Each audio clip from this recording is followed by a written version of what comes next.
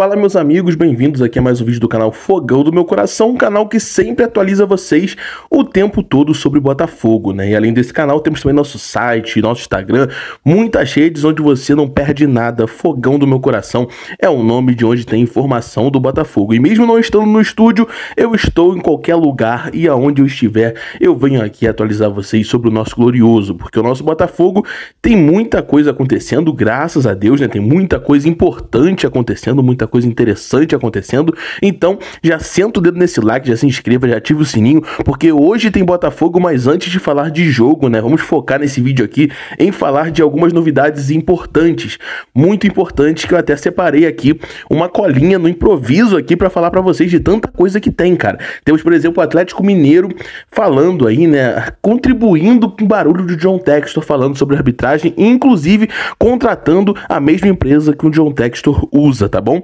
Além disso, temos também o Botafogo buscando um jogador aí que atua, né? Que tá atuando nessa Eurocopa.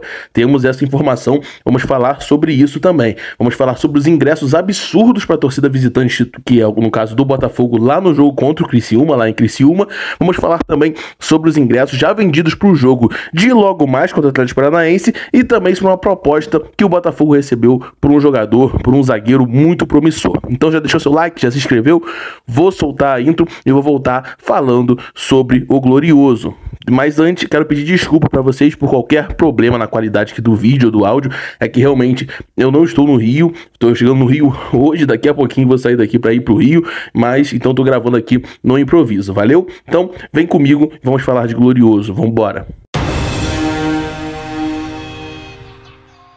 Aqui sobre a questão do Atlético Mineiro. O Atlético Mineiro foi claramente prejudicado no último jogo contra o Palmeiras, né? Uma expulsão bizarra do Hulk, que eu até achava que ele tinha proferido palavras absurdas para a arbitragem, mas não foi isso que aconteceu, né? O árbitro realmente expulsou ele um motivo que realmente foi o que o jogador falou no momento. O jogador só questionou, né, por que tomou um amarelo e logo em seguida ele tomou vermelho. Eu não me recordo de ter visto nenhuma situação semelhante a essa no Brasil nos últimos anos. E vamos ver o que o, o, que o presidente aí do Atlético Mineiro, né, falou sobre a situação. Vamos lá.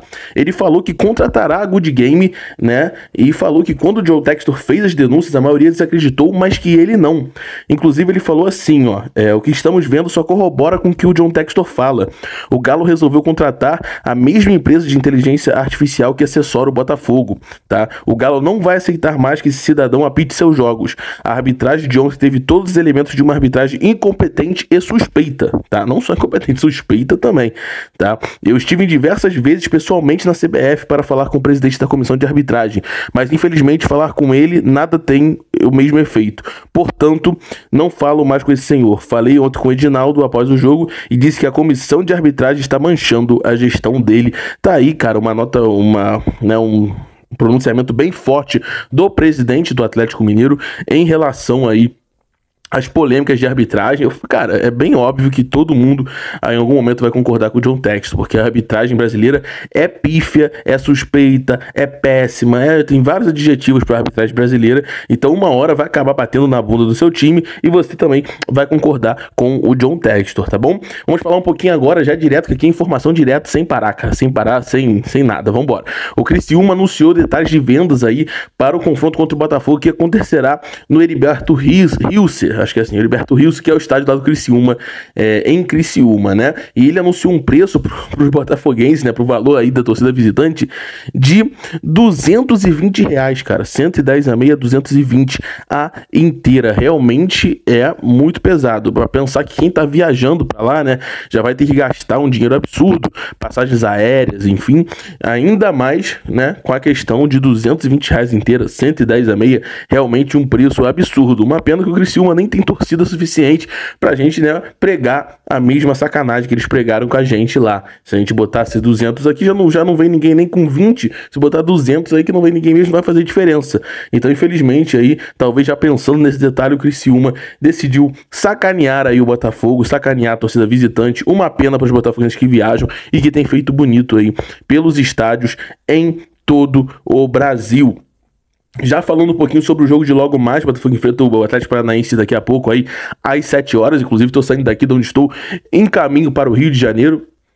Que é onde acompanharei o jogo aí com meu amigo Gustavo. Faremos um vlog, faremos uma live pré-jogo. Então fique atento aqui no canal que você não perde nada.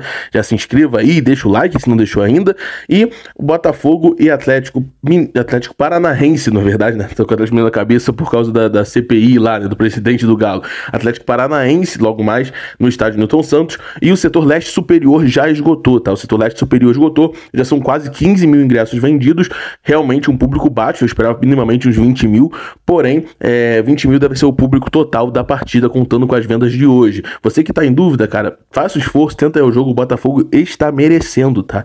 Está merecendo muito a sua presença. É claro, é claro que o horário é horrível. 7 horas da noite, quarta-feira, o Botafogo só joga 7 horas. A CBF deu uma sacaneada legal, né? No Glorioso com esses horários. Mas assim, cara, o time merece. Se você pode, faça um esforço, faça um esforço para estar tá lá presente. É muito importante a sua presença, não só a sua presença, mas de todos os botafoguenses, né? Então, vamos fazer um esforço aí para manter uma média acima dos 25 mil. Vamos tentar manter uma média acima dos 25 mil, que já é uma média muito boa, ainda mais para nossa torcida que tá tão machucada aí por tudo que passou. Então, é isso, galera. Botafogo e Atlético Paranaense com a leste superior esgotada e já cerca aí de 15 mil ingressos vendidos, tá? Então vamos esperar aí é, até a hora do jogo para ver qual vai ser o público, mas saiu essa informação agora. E para finalizar o vídeo de hoje, mas não menos importante, temos uma informação rápida, né? Para finalizar, não. Antes de finalizar, temos informação rápida que o clássico contra o Vasco deve acontecer em Brasília, comando do Vasco. Então, galera de Brasília, fique atento aí que você deve receber um ou até mais jogos do Botafogo esse ano, tá? Então, fique atento aí que pode ser que aconteça em Brasília. Mas enquanto não é essa definição, vamos aqui para a última notícia do vídeo de hoje, que é sobre a contratação aí, a possível contratação do Estrela Amadora, que é um time português, é, mediante é o nosso zagueiro da base, o Cauã, tá? Ele ele recebeu uma oferta do Estrela Amadora, time aí de Portugal, um time é, desconhecido, assim, eu não conhecia tanto, mas é um time do futebol europeu, querendo ou não, é um time português que está ali em tratativas com o Botafogo para levar nosso zagueiro da base. Não sabemos ainda se o Botafogo vai fazer jogo duro, se vai querer manter o jogador, o que, que o Botafogo vai fazer em relação ao atleta Cauã, porém, temos sim a informação que essa proposta chegou. Vamos ver, se for bom para o clube, se for bom para o jogador, o Botafogo deve sim é, encaminhar esse atleta para Portugal. Mas não sabemos mais detalhes, além de que o Estrela Amadora fez uma proposta. Tá aqui, inclusive, na matéria. A diretoria do Botafogo vai analisar os detalhes da oferta, buscando o melhor acordo para o clube e para o atleta. A transferência do Cauã pode representar um passo significativo na carreira do jovem, né? Que, querendo ou não, vai estar aí em Portugal e pode acabar indo para algum clube europeu maior depois de um tempo, né? Então é isso, galera. O presidente do Galo é, junto aí com o John Textor na briga aí contra a arbitragem, a CBF, enfim. Botafoguenses sacaneados aí pelo, pelo Criciúma com preços absurdos do ingresso fora de casa. É, quase 15 mil ingressos vendidos para o jogo de logo mais. Então vamos lá, vamos botar pelo menos 25 mil aí no jogo de logo mais, que vai ser um público muito bom para o horário que será, né? 7 horas. É, o Cauã recebendo oferta aí do time português.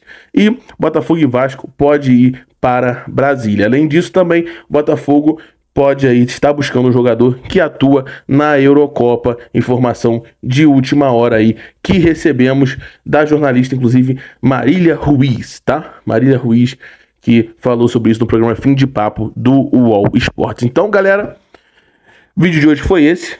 Muita informação, muita coisa boa, muita coisa relacionada ao Botafogo. Deixa seu like, se inscreva no canal. Daqui a pouco, meio-dia, teremos live aí com o nosso amigo Gustavo, que está sempre presente aqui fazendo suas lives. Muito obrigado pela sua audiência. Desculpa qualquer coisa aqui diferente, estou né? em outro lugar, mas acho que estou conseguindo passar as informações do Botafogo e é isso que importa, galera. Valeu? Tamo junto, deixa seu like, se inscreva. Tenha aí um ótimo dia. E é isso. Tamo junto. Grande abraço.